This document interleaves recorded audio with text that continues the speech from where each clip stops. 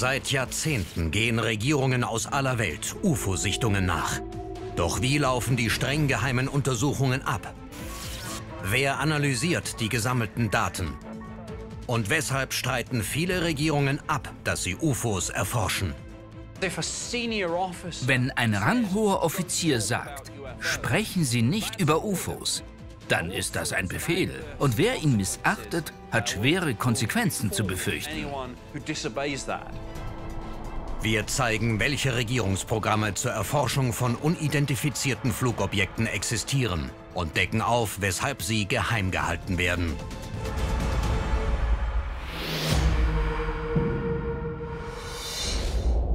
Eine weltweite Initiative hat begonnen. Geheimakten mit detaillierten UFO-Berichten, jahrzehntelang vor der Öffentlichkeit verborgen, sind jetzt frei zugänglich. Wir enthüllen die Wahrheit hinter diesen Dokumenten und finden heraus, was die Regierungen verschweigen. Unsealed. Alien Files. Auf der Spur der größten Geheimnisse der Erde.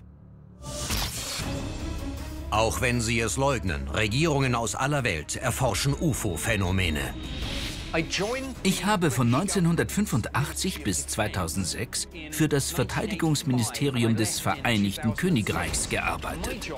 Meine Aufgabe war es, UFOs zu erforschen. Ich hatte gemischte Gefühle, als ich dem UFO-Projekt beitrat, denn ich stand diesem Thema sehr skeptisch gegenüber. Doch als ich einige der außergewöhnlichen Radaraufnahmen sah, wurde mir schnell klar, dass meine anfänglichen Zweifel fehl am Platz waren. Die US-Regierung hat wie viele andere Staaten seit den 1940er Jahren zahlreiche UFO-Forschungsgruppen ins Leben gerufen. Nach einer beispiellosen Welle von UFO-Sichtungen im Jahr 1947, darunter der berühmte Roswell-Zwischenfall, richteten die USA Untersuchungsstellen ein. Project Sign, Project Grudge und Project Blue Book, das 1969 eingestellt wurde. Im Juli 1947 gab es Schlagzeilen, eine fliegende Untertasse außerirdischen Ursprungs samt Insassen sei auf einer Ranch in Roswell, New Mexico abgestürzt. Die US Air Force gelangt zu der Überzeugung, die USA sähen sich einer Invasion durch eine unbekannte Hochtechnologie gegenüber. Und im Herbst 1948 hat ein Militärangehöriger eine Begegnung, die zu gut belegt ist, um sie zu ignorieren.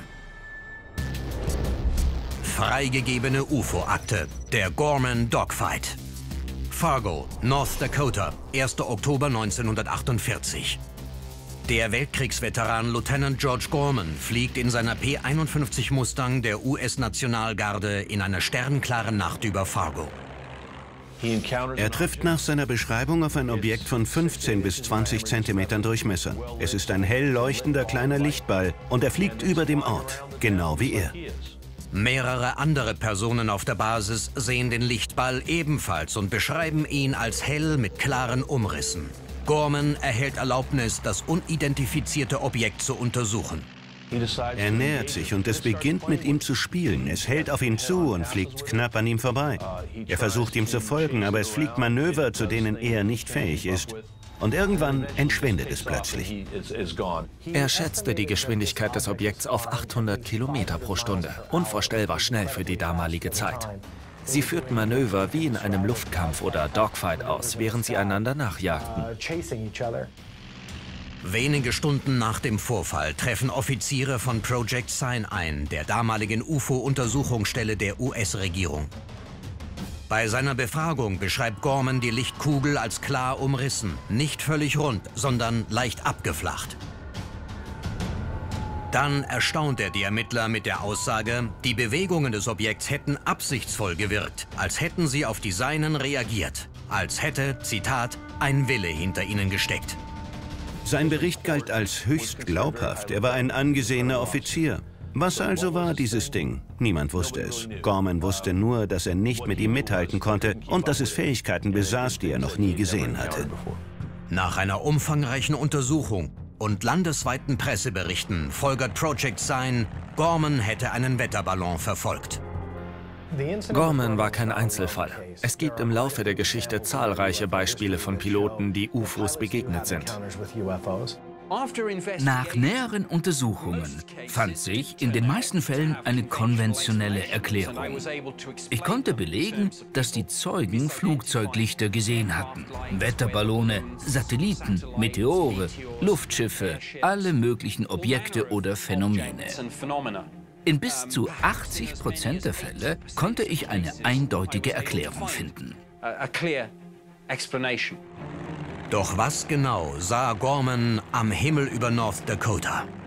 Trotz des offiziellen Befundes durch Project Sign von 1948 betrachten Experten der UFO-Gemeinde den Gorman Dogfight als ungeklärt. Viele Experten sehen sich die Dokumente an und sagen, sie wurden ihrer Aufgabe als Ermittler nicht gerecht. Sie sammelten Berichte, analysierten sie und verwarfen sie, einen nach dem anderen. Ein Wetterballon hier, Sumpfgas dort, der Planet Venus. Sie negierten alles, was ihren Schreibtisch erreichte. Wir enthüllen eine der meiststudierten und bemerkenswertesten Massensichtungen von UFOs in der Geschichte Europas. Oft werden offizielle UFO-Forschungen durch Regierungen streng geheim gehalten und die Geschichte zeigt, dass sie durch politische Interessen und widersprüchliche Analysen geprägt sein können. Doch was ist mit UFO-Sichtungen, für die überzeugende Beweise, glaubhafte Zeugen und solide Daten existieren? Nick Popes Arbeit für die britische UFO-Behörde ermöglichte ihm Einsichten in die seltenste Art von UFO-Begegnung. Etwa 5% der Fälle werden als tatsächlich unidentifiziert eingestuft. Natürlich bedeutet unidentifiziert nicht, wie allgemein angenommen, dass es Außerirdische waren. Aber zumindest konnten wir diese Möglichkeit nicht ausschließen. Unidentifiziert bedeutet unidentifiziert, nicht mehr und nicht weniger. Freigegebene UFO-Akte, die belgische UFO-Welle. Eupen, Belgien, 29. November 1989. Ein Schwarm dreieckiger UFOs erscheint am Nachthimmel. Es waren schwarze, dreieckige UFOs über ganz Belgien. Viele Augenzeugen beschrieben schwarze, dreieckige Objekte, wie sie auch heute beobachtet werden, mit mehreren Lichtern an der Unterseite. 30 verschiedene Gruppen von Zeugen und drei Truppen von Polizeibeamten sehen angeblich schwarze, dreieckige UFOs am Himmel über Belgien. Ermittler befragen Zeugen, um eine rationale Erklärung zu finden. Doch im Laufe der folgenden Monate schwellen die Sichtungen zu einer Welle an. Von November 1989 bis Frühling 1990 werden mehr als 1000 Fälle registriert. Die belgische Luftwaffe ließ Jäger aufsteigen, um die Objekte abzufangen. Wir hatten verschiedene Experten für die Detailanalyse von Fotos oder Videos und dem vielleicht wichtigsten Pfeiler der UFO-Forschung, Radaraufnahmen.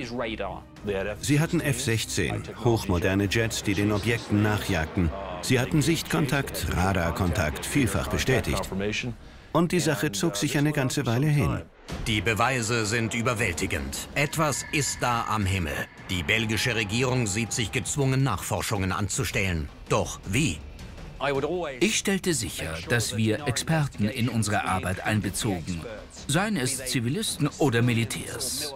Sie konnten uns sagen, ob etwas vom Radar erfasst worden war und, falls ja, was die Aufnahmen uns verraten könnten. Dann glich ich ihre Angaben mit bekannten Aktivitäten im Luftraum ab oder solchen, die ich recherchieren konnte, astronomischen Phänomenen und dergleichen mehr. Ich sah mir zum Beispiel Luftstraßen an und militärische Übungen.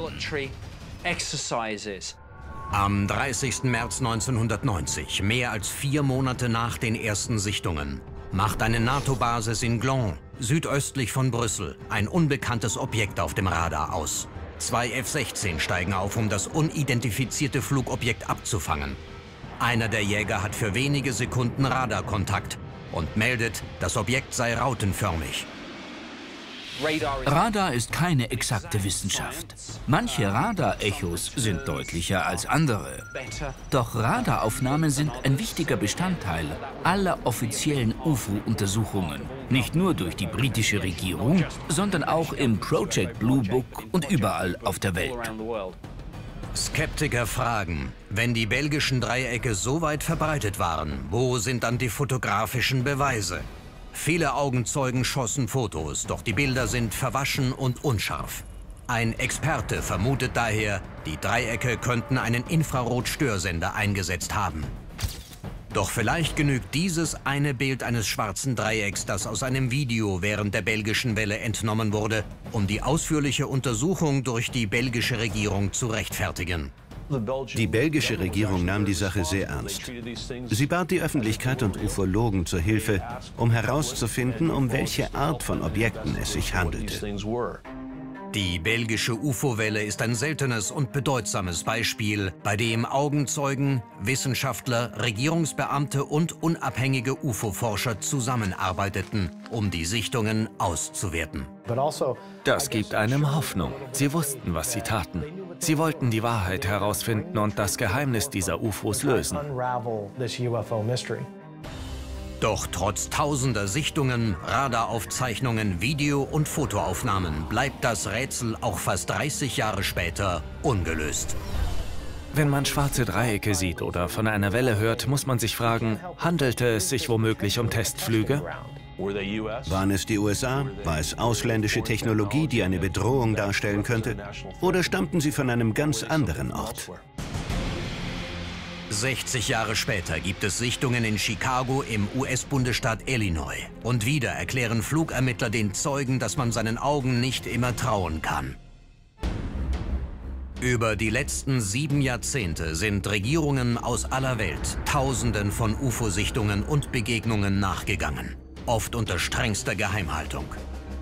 Doch ihre fortwährenden Dementi überzeugen nicht alle Teile der Öffentlichkeit. In jedem Jahr, an dem ich am UFO-Projekt arbeitete, erhielt ich 200 bis 300 Berichte über Sichtungen. Und jedem davon musste nachgegangen werden. Freigegebene UFO-Akte. Die UFO-Sichtung über dem Flughafen O'Hare, Chicago, Illinois, 7. November 2006. Ungewöhnliches ereignet sich über einem der betriebsamsten Flughäfen der USA. Im November 2006 um 16.15 Uhr erschien ein Objekt über dem Flughafen Chicago O'Hare. Der Flugbetrieb wurde eingestellt. Das Objekt schwebte über dem Flughafen. Viele Menschen sahen es und filmten, wie es einfach dort schwebte. Doch um was handelt es sich? Augenzeugen beschreiben eine rotierende graue Scheibe, ähnlich einem Frisbee. Es war eine runde, fliegende Untertasse. Und die Leute beobachteten sie, bis sie plötzlich senkrecht emporstieg und ein Loch in der Wolkendecke hinterließ. Der Vorfall wird durch Bodenpersonal, Piloten, Passagiere und Fluglinienmitarbeiter bezeugt. Der Betrieb wurde eingestellt, aber es blieb keine Zeit, Jäger aufsteigen zu lassen. Unsere Reaktion ließ zu wünschen übrig. Wir standen unter Schock. Doch viele Augenzeugen zögern, öffentlich zu äußern, was sie sahen. Man muss sich beinahe mit ihnen verbünden oder ihnen zumindest versichern, dass man ihren Erzählungen gegenüber aufgeschlossen ist. Viele machen sich Sorgen, dass wir sie nicht ernst nehmen oder dass sie ihre Zeit verschwenden würden. Es war ein UFO, ich glaube das. Es ist passiert, es war unbestreitbar. Und die Chicago Tribune brachte es auf die Titelseite. Die Mainstream-Medien wussten, dass es eine Geschichte hergab. Über das UFO von O'Hare wird in den gesamten USA im Fernsehen berichtet. Doch die US-Luftfahrtbehörde, die für die Sicherheit des US-Luftraums verantwortlich ist, lehnt es ab, Nachforschungen einzuleiten. Ich denke, sie hatten Angst, sich lächerlich zu machen. Also bemühten sich die Fluglinien und die Luftfahrtbehörde, die ganze Sache unter den Teppich zu kehren und sagten, ach, da war nichts. Dutzende Menschen hatten es gesehen. Niemand kann sagen, es ist nichts passiert. Es ist passiert. Die Behörden folgern, dass durch die niedrige Wolkendecke an diesem Tag perfekte Bedingungen für eine Wetteranomalie herrschten. Es wurde eine Erklärung über Wetterphänomene vorgelegt. Was tatsächlich über dem Flughafen O'Hare zu sehen war, ist bis heute ungeklärt. Wenn etwas durch einen so gut gesicherten Luftraum fliegt, muss man es ernst nehmen, ob man nun dran glaubt oder Skeptiker ist. Nick Pope hat jahrelang im Vereinigten Königreich UFO-Sichtungen studiert. Er weiß, dass Nachforschungen aus Mangel an Daten oft ergebnislos bleiben. In etwa 15 Prozent der Fälle hatten wir zu wenige Informationen, zu wenige Daten, um zu einer klaren Aussage zu gelangen. Geht die US-Luftfahrtbehörde UFO-Sichtungen deshalb nicht nach? Warum sollte Ihnen ein UFO egal sein? Es muss nicht außerirdisch sein, um eine Bedrohung darzustellen. Also stellt sich die Frage, wollen Sie etwas vertuschen? Wir enthüllen Hinweise, die US Air Force würde systematisch Beweise vernichten. Beweise, die zeigen, dass sie aktiv zu UFOs forscht. Trotz überwältigender, anderslautender Beweise behaupten viele Regierungen, Sie würden keine Nachforschungen zu UFOs anstellen. Doch viele, die unerklärliche Phänomene am Himmel gesehen haben, und auch manche Medienvertreter glauben ihnen nicht. 2011 fragte die Huffington Post das Pentagon nach einer bestimmten Passage in einem Lehrbuch für Angehörige der US-Luftstreitkräfte. Das Air Force Manual 10-206 beinhaltet einen Abschnitt, der Piloten anleitet, wie UFO-Sichtungen zu melden sind. Alle Piloten der US Air Force waren verpflichtet, jedes UFO, jedes unidentifizierte Flugobjekt, das sie sahen, zu melden. Diese Anweisungen existierten schwarz auf weiß, jahrelang. Nur wenige Tage nach der Anfrage wird der Abschnitt entfernt. Innerhalb von 24 Stunden nach der Anfrage dieses großen Medienunternehmens an das Pentagon wurde das Lehrbuch vollständig umgeschrieben. Und das ganze Kapitel zu UFOs war verschwunden. Es gibt eine Reihe von Gründen, weshalb das Militär sich nicht zu UFOs äußert. Erstens, das Militär ist insgesamt eine sehr verschwiegene Organisation. Nichts zu sagen ist der Normalfall, solange man nicht unbedingt muss. Das zeigte aller Welt, dass UFOs immer noch ein Thema waren und dass Air Force-Piloten jedes unidentifizierte Flugobjekt melden mussten. Der zweite Punkt ist, dass es in einer hierarchischen Organisation sehr leicht ist, etwas unter Verschluss zu halten. Wenn ein ranghoher Offizier sagt, sprechen Sie nicht über UFOs, dann ist das ein Befehl. Und wer ihn missachtet, hat schwere Konsequenzen zu befürchten. Deshalb konnte das Militär viele dieser Dinge so lange geheim halten. Sprecher des Pentagon behaupten, es war reiner Zufall, dass die Passage kurz nach der Anfrage gelöscht wurde. Warum das ganze Theater? Sie wären an nichts im Zusammenhang mit UFOs interessiert. Wenn man im Rahmen der Informationsfreiheit schwarz auf weiß das Gegenteil nachlesen kann. Wir werden vielleicht nie erfahren, welchen UFO-Phänomenen Regierungen rund um den Globus nachgegangen sind. Das ist kein Thema, über das ich detailliert sprechen kann weil ich noch immer an die Geheimhaltung gebunden bin. Was ich sagen kann ist, dass wir in Regierungskreisen aufgrund von Geheimdiensterkenntnissen eine ziemlich genaue Vorstellung davon haben, was da draußen ist. Doch die Frage bleibt, was ist da draußen? Unseared. Alien Files. Auf der Spur der größten Geheimnisse der